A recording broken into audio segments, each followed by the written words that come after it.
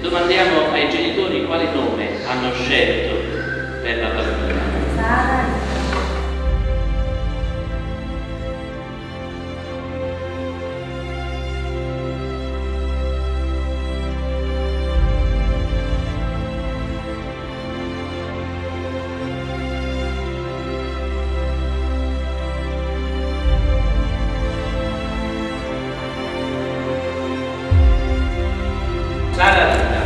io ti battezzo